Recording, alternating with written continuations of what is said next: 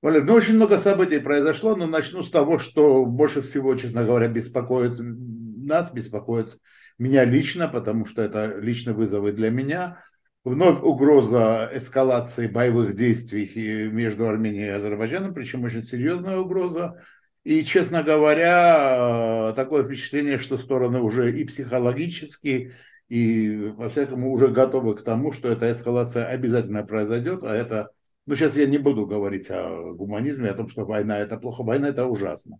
Но война это инструмент э, внешней политики, которую, к сожалению, никто не отменял в наше время. Э, что делать в такой ситуации дипломатам? Что делать дипломатии? Я думаю, что сейчас э, их голос может быть решающим. Или же пока пушки не заговорят. Согласен, Гела, да, что это очень плохой симптом когда люди начинают привыкать к мысли о том, что война неизбежна. Это не является данностью, войну всегда можно избежать, и в этом смысле, конечно, очень серьезная роль принадлежит дипломатам, хотя надо принимать во внимание обязательно, что дипломатия это всего лишь инструмент, а внешнюю политику делают политики. И политики формируют э, инструкции, заказ, видение того, как надо преодолеть кризис, что это, что можно сделать в этом смысле.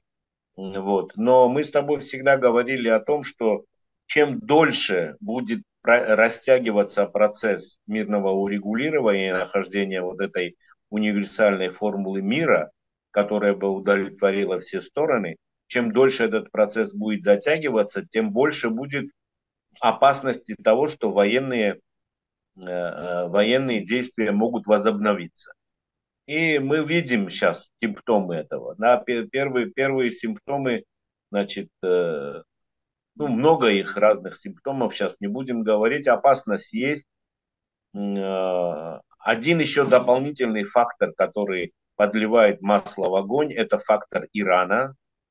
Да, причем это как-то странно проявляется. Я сейчас небольшой специалист по, по Ирану и по его внешней политике, но мне как-то кажется, что вот э, корпус стражей исламской революции, он как-то как-то чуть-чуть отдельно, вне общего контекста иранской политики э, значит, ведет себя. И кажется, что вот внутри иранской элиты тоже нет единства в смысле того, как э, Иран должен себя вести в, в региональных делах по Южному Кавказу. Но тем не менее, вот этот фактор нестабильности – вот эти заявления, приезды на границу, там публикация каких-то карт, там э, слив какой-то информации, выброс и так далее, да, риторика соответствующая, да, вот, она не способствует тому, что, что опасность возобновления военных действий уменьшается. Нет, она усиливается, к сожалению. Ну и сегодня надо сказать, в принципе, что те, кто возлагают надежды на Иран с точки зрения реализации собственных интересов, ну, я бы порекомендовал им пересмотреть собственную позицию, да, потому что Иран сегодня, к сожалению, это не та страна, которая способна привнести большую стабильность и мир в регион. Это понятно, понятно всем. Достаточно внимательно проследить, в том числе и над, э, по, над развитием внутриполитической ситуации в Иране. Если суммировать, то опасность, я с тобой согласен, опасность возникает в этой связи. А, вопрос в том, например, что, что Грузия может сделать в этом, в этом смысле. Вот. И здесь на этот грустный вопрос есть очень грустный ответ, что, наверное, ничего особенного, в общем-то, мы в этом смысле сделать не можем. Мы всегда говорили о том и даже в свое время похвалили там, премьер-министр Грузии за то, что он продвигает, э, продвигает идею трехстороннего сотрудничества постоянно и стабильно. Это хорошо. Ну и мы похвалили его, потому что он редко дает нам очень повод э, его похвалить, поэтому мы за этот повод уцепились с тобой. Вот. Но э, слабость нашей позиции заключается в том, что в грузинской политике и динамики нашей политики на Южно-Кав... Южно-Кавказском, э, в Южно-Кавказском пространстве нету динамики. мы постоянно говорим одно и то же. Да, мы можем способствовать, и вот э, были бы рады и так далее, и все этим заканчивается.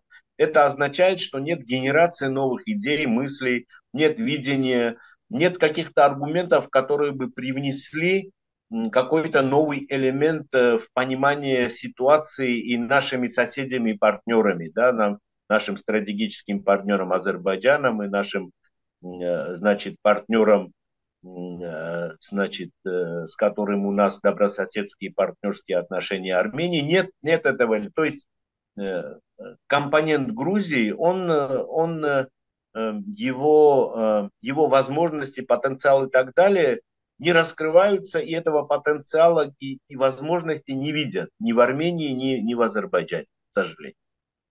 Да. Это, это вот плохо. И, ну, суммируя, надо сказать, что, в принципе, от нас, в общем-то, сильно ничего не зависит. У нас сейчас получается, у меня такое впечатление, что что-то идет, э, что-то, что-то, что-то идет к какому-то, э, какой-то развязке. Надеюсь, что это лучше, это больше позитивная развязка будет, чем какая-то какая-то негативная, но гарантий никаких тут дать никто не может. И э, всякое может случиться, честно говоря, и вот эта непредсказуемость, она очень давит. Ты знаешь, я очень внимательно следил, я не знаю, насколько тебе удалось это следить за визитом Арарата Мирзаяна, министра иностранных дел Армении, в Москву. И там было очень интересное выступление именно Лаврова на пресс-конференции, где он, в принципе, говорил очень много правильных вещей. И вот эта та самая ложка дегтя, которая, или, извини за грубое выражение, дерьма, которая испортила всю эту бочку меда. Ну, например, он говорил о том, что, конечно же, приверженность Алмазинской декларации, то есть границам 91 года. Однозначно он говорил о том, что что такое права жителей Карабаха, армянского населения Карабаха. Это язык, культура, религия, самоуправление, образование. Ну, под, э, скажем так, э, вопрос, например, тот же Фархад Мамедов поставил особые связи экономического характера. Но я думаю, что это тоже можно решить вполне. И вроде бы как против этого никто не может ничего иметь. И тут же он говорит, ну вот посмотрите на примере Минских соглашений, которые были заключены с Украиной. То есть тут же он упоминает Минские соглашения и говорит, дальше продолжает мысль, что почему не должен быть Запад в этом процессе, вообще не должен быть Запад. Потому что э, вы видели участие Запада в Минских соглашениях и к чему это привело. Ну, он намекает на то, что привело это к большой войне и агрессии России против Украины. В, это, в этом смысле, в этом, да. Э, я просто не хочу, чтобы зрители э, и, и так просто говорят, что у нас во всем виновата Россия. Но вот в данном случае, ну, согласись, что это ну, может быть все-таки тоже очень, э, скажем так, яркий эпизод, который демонстрирует позицию России. Не, ну с позиции России, с позиции России все понятно и давно, не во всяком случае, понятно очень давно с позиции России. Ни один Значит, не один и не два года назад я понял, что такое позиция России. Я думаю, не только я.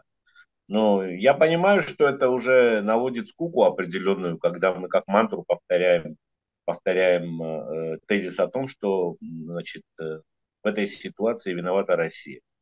Но, Гела, понимаешь, дело в том, что наша проблема э, с Россией, грузинская в данном случае, да, и проблема Армении с Россией, Азербайджана с Россией. И в этом я хочу, чтобы отдавали себе отчет. И Армения, и Азербайджан, я думаю, что они очень хорошо отдают себе в этом отчет, что э, у них не идеальные отношения с Россией, ни у одной, ни у другой стороны наших соседей. Хотя тут э, были такие волнообразные какие-то э, изменения да, положения. То есть был большой, большой период истории был, когда, э, когда в принципе, у Армении было э, гораздо больше, гораздо больше э, оснований считать, что Россия является их другом, партнером и так далее.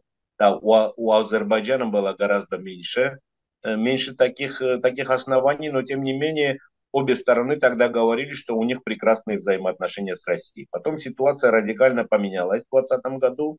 Теперь у Азербайджана гораздо больше, гораздо больше оснований говорить о том, что у них хорошие отношения с, с Россией, чем у Армении. Но опять обе стороны говорят, что у них прекрасные отношения, ездят туда, разговаривают, договариваются и так далее. Вот эта странность есть, но обе стороны отдают себе отчет, что у них проблемы с Россией. И проблемы Азербайджана, Армении, Грузии с Россией – это не отдельно взятые проблемы дела.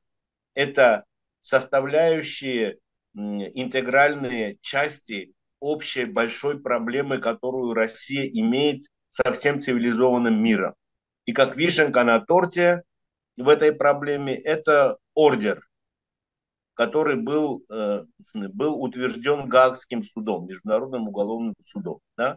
Теперь надо отдавать себе отчет еще и, еще и, и в том, что это произошло. И это, это означает, это означает, что договороспособность Путина и оценка договороспособности Путина и путинской России со стороны цивилизованного Запада, цивилизованного, цивилизованного Запада сегодня практически нивелирована. Вот. И понятно, что в этих условиях теперь Россия всегда будет говорить, что да, да плохо, плохо, когда Запад принимает участие в этом, потому что тогда там все проваливается. Да? Но э, все, пере, так сказать, в этом, в этом регионе, на европейском театре, да, на европейском континенте, евроазиатском, если хочешь, есть много, очень много проблем. И все эти проблемы практически связаны с Россией. Это факт. И к решению этих проблем Россия рано или поздно приходит, э, используя какие-то какие значит, э, э, грубые инструменты военного давления, военной силы, военной агрессии. И пиком этого всего является то, что происходит в Украине.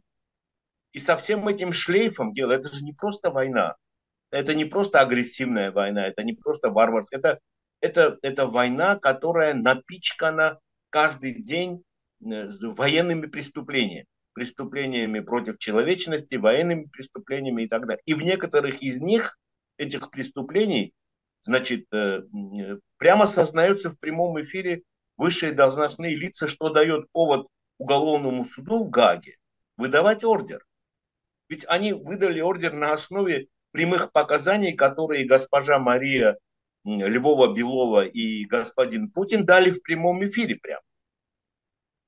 Да, они ничего не скрывали, они наоборот кичились даже этим, что вот, значит, мы крадем детей с Украины. Да, и получили, получили ордер.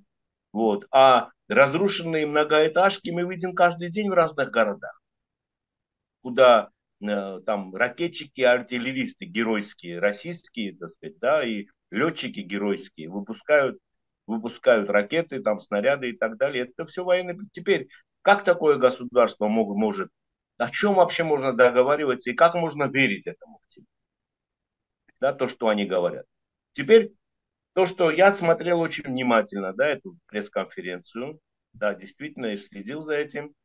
Вот. Ну, понятное дело, что, так сказать, да, ну, это Россия фактор в этих отношениях, у нее военный контингент, и в Армении у нее военный контингент, и там, значит, э, эти так называемые миротворцы, те же самые те же самые военные преступники, которые сегодня воюют в Украине, часть из них находится там. Я один ролик видел, когда один из этих так называемых миротворцев кичился тем, что вот он геройски воевал в Херсоне.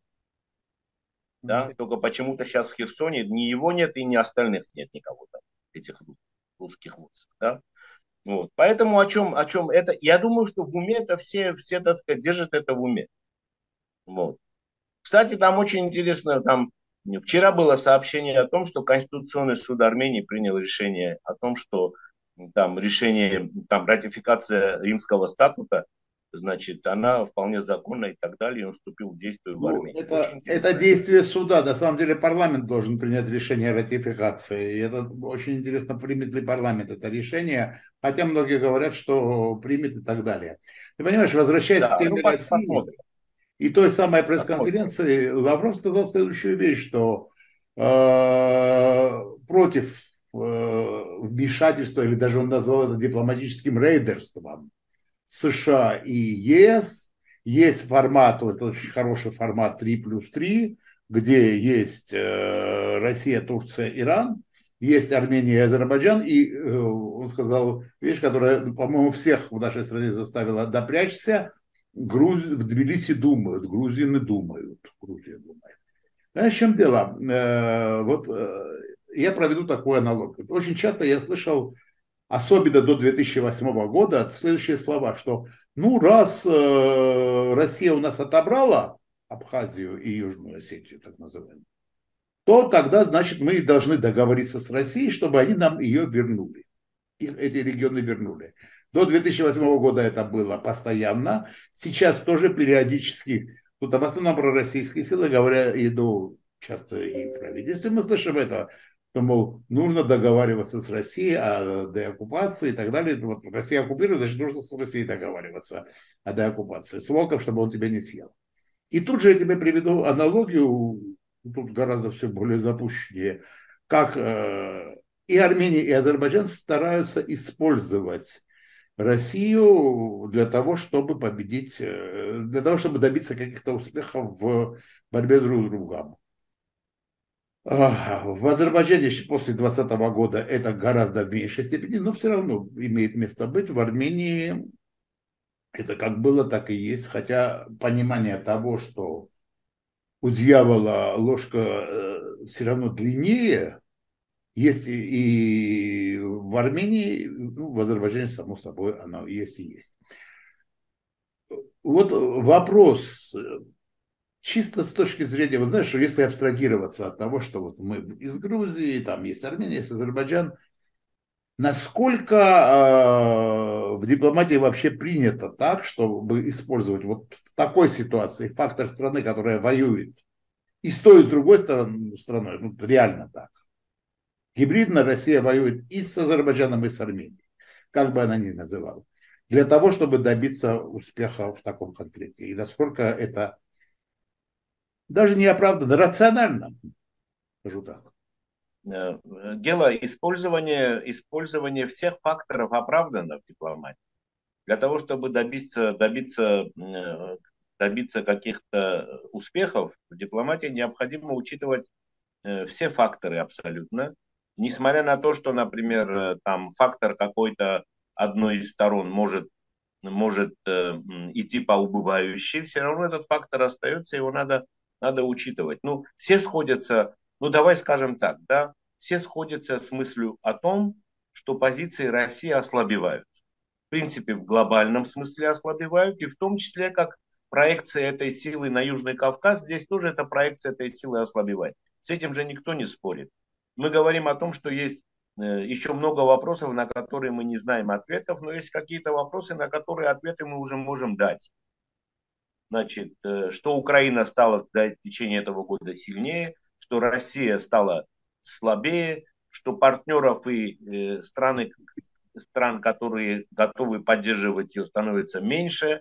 Проявлением этого, этого стало и, стал и визит, и визит Си Цзиньпиня в Москву, который, который закончился закончился так, как он закончился, с этими документами, которые мы можем прочитать, проанализировать, так сказать, и сделать свои выводы, да, и там э, язык тела, там выступления, и как люди, как встречались э, Си Цзиньпинь с Пут, Путиным, что они говорили и так далее, и к чему они пришли, все это говорит о том, что если Россия строила какие-то планы по поводу того, что сейчас при, прижется эм, э, Китаю в пользу России в этой войне и так далее, этого, конечно, этого, конечно, не произошло никоим образом.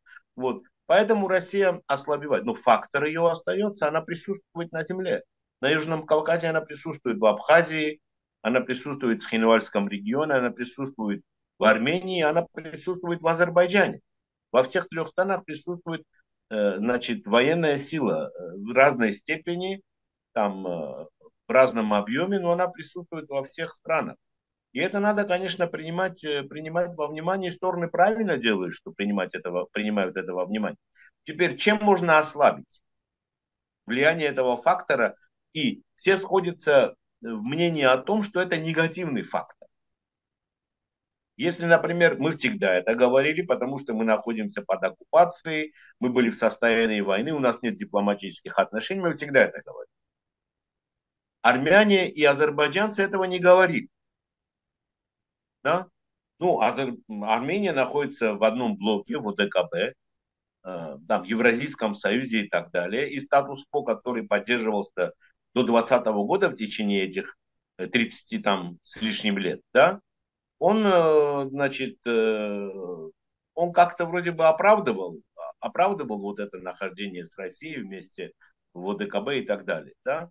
Вот, и поэтому, конечно, конечно, военная база в Гюмри, например, воспринималась, воспринималась в Армении не так, как воспринимается присутствие российских войск грузинами в Абхазии и в Хинвальском регионе.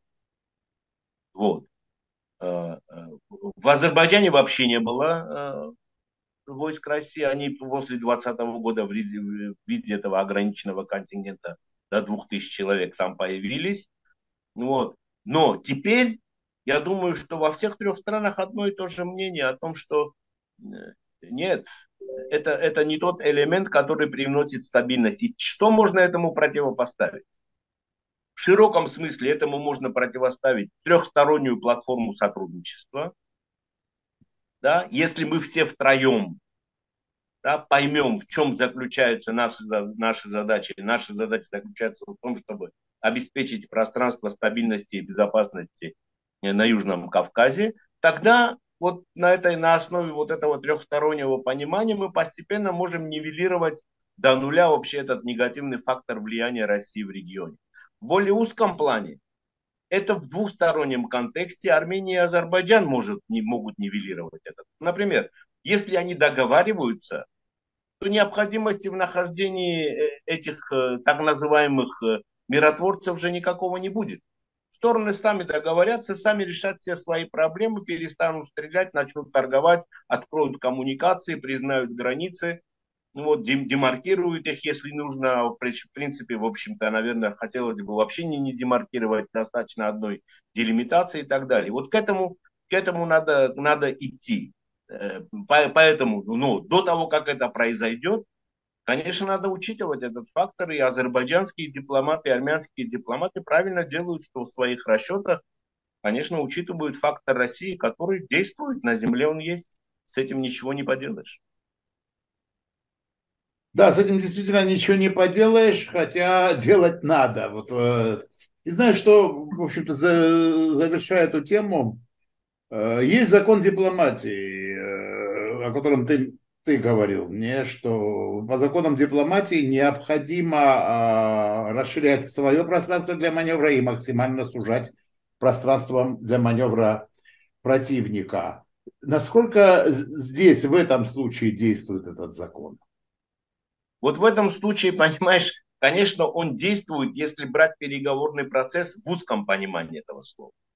Но если брать э, э, коллективный трехсторонний интерес общий южно-кавказский, то эту формулу надо делать в применении к, э, к этому общему пространству. Значит, нам всем втроем вместе надо расширять возможности собственного маневра и сокращать значит, суживать пространство для маневра негативной силы, которая вносит противоречия в регион из-за своих собственных каких-то побуждений, которые, собственно, заключаются в одном понятном очень принципе. Да? Разделяй и. Вот этот принцип. И ловить там, если по-простому, э, ловить рыбку в мутной воде. Поэтому, да, этот принцип действует, но я бы сейчас этот приподнял его значение в другую плоскость, плоскость региональную, потому что невозможно достичь стабильного, стабильных долговременных гарантий безопасности, благосостояния, перспектив развития отдельно взятой Грузии, отдельно взятой Армении или отдельно взятому Азербайджану. Мы все перепле... мы судьбами переплетены коммуникационными, историческими, эмоциональными. Во многом мы похожи друг на друга.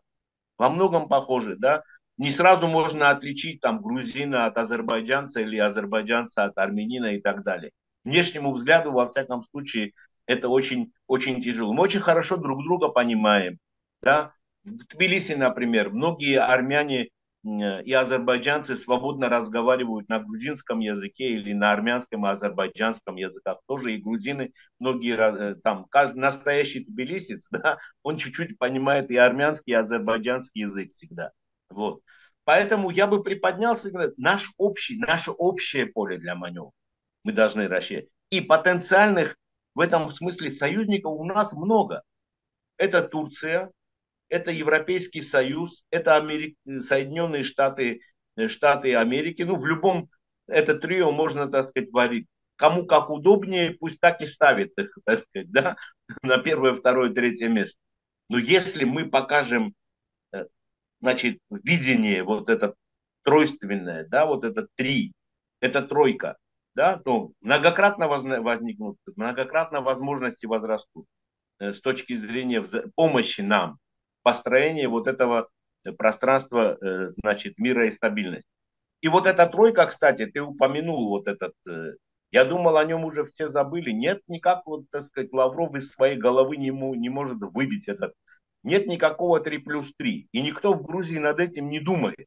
Особенно после этого злосчастного закона о так называемых иноагентах, если кто-то каких-то своих бредовых идеях, в каких-то коридорах власти еще об этом говорил. Мне об этом ничего не известно, кстати. Да, потому что очень ясно все высказались по этому поводу. Было очень серьезное давление со стороны общества и экспертного сообщества в том числе. Со всеми аргументами не буду перечислять. Все, это в утиль сдал, сдан давно, понимаешь? В этой конструкции три главное. Вот эти три, они должны потом решать, кто будет дальше плюс к этим трем? Это будет 3 плюс 1, 3 плюс 2 или 3 плюс 3. Эти 3 плюс 3 могут быть Соединенные Штаты, Европейский Союз и Турция, например. Или 3 плюс 2, или как это произойдет. Вот. И, кстати, должен сказать, что у меня есть какие-то смутные подозрения, да, что и Армения, и Азербайджан очень рады тому, что Грузия принципиально к этому не присоединяется, и этот Эм, этот э, так называемый формат 3 плюс 3 вообще даже не, не может начать работать. Особенно в контексте, в контексте активизации в негативном ключе иранского фактора. О каком вообще 3 плюс 3 сейчас вообще можно говорить? Понимаешь, вообще полная, э, полная в этом смысле, ну, вообще эти, эти перспективы ушли на ноль практически. Три главные, вот эти три южнокавказские страны. Я в этом абсолютно уверен. Э, Валер, ну давай я тебе конкретно задам вопрос. А, смотри, э, риски мы перечислили, много говорили в наших передачах и писали о рисках, которые, о которых говорит Азербайджан. У Армении понятно, что возможности для маневра э, достаточно ограничены в силу того, что очень трудно согласиться, но вот Азербайджан ставит условия. Контроль над Лачинской дорогой, чтобы из Карабаха не исходила угроза Азербайджана. Армения может сегодня пойти на эти условия, это первое. И второе, самое главное, ты понимаешь, в чем дело? Даже если Армения скажет, ну да, мы не против, причем тут Армения, когда там российские войска, э, российский контингент, и там фактически ну, грубо говоря, субъектность Армении в Карабахе, она под большим знаком вопроса. Дело главное заключается в другом. Главное, это, это все внешние проявления глубокого кризиса, который имеет гораздо более глубокие, глубокие корни основания. Главное в том, что такое сегодня Карабах и в чем заключаются фундаментальные Эм, интересы тех людей, которые сегодня в Карабахе живут. И как эти фундаментальные интересы можно обеспечить и какие гарантии, кто должен эти гарантии давать. Если мы принимаем формулу, это на самом деле вроде бы очень сложно, но на самом деле это очень просто. Если мы принимаем формулу, что мы уважаем территориальную целостность и э, незыблемость международно признанных границ, тогда в контексте этой концепции понятно, что такое Карабах и что такое люди сегодня, которые живут в Карабахе. Тогда получается, что это граждане Азербайджана, граждане Азербайджана армянской национальности, которые в соответствии со всеми международными конвенциями, прежде всего европейскими конвенциями, да, и не только Европейский Союз я имею здесь в виду, а и Совет Европы, членами которого являются и Армения, и Азербайджан, кстати. Там много тоже европейских конвенций по правам человека, национальных меньшинств и так далее.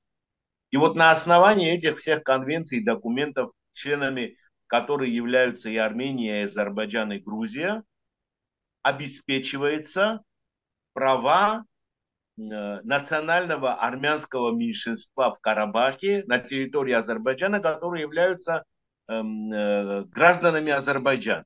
Это включает и там право получить образование на родном языке, там право участвовать там в местных выборах, формировать органы власти, там и так далее, много всего. Да, Извини, но это то, что сказал Лавров. Ну да, а? это, это то, что сказал Лавров, но он сказал абсолютно очевидные Прав... вещи. Да. Правильно, и ты, ты правильно сказал, что он правильно сказал. Искусство Лаврова, вообще искусство русской пропаганды заключается как раз в этом. Это очень, очень они э, умело это все делают. Значит, значит, как там? Правда, правда, хорошо, правильно.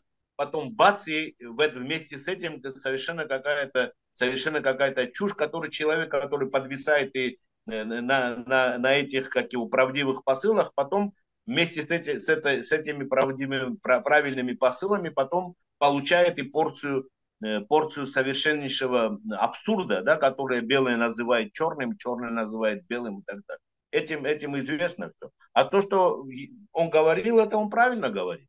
Да? Вот. И если, если, вот это, если это понимание есть, Тогда вообще проблема в Слачинской дороге нет никакой. Проблема же в чем заключается? Чтобы там, там две проблемы на самом деле.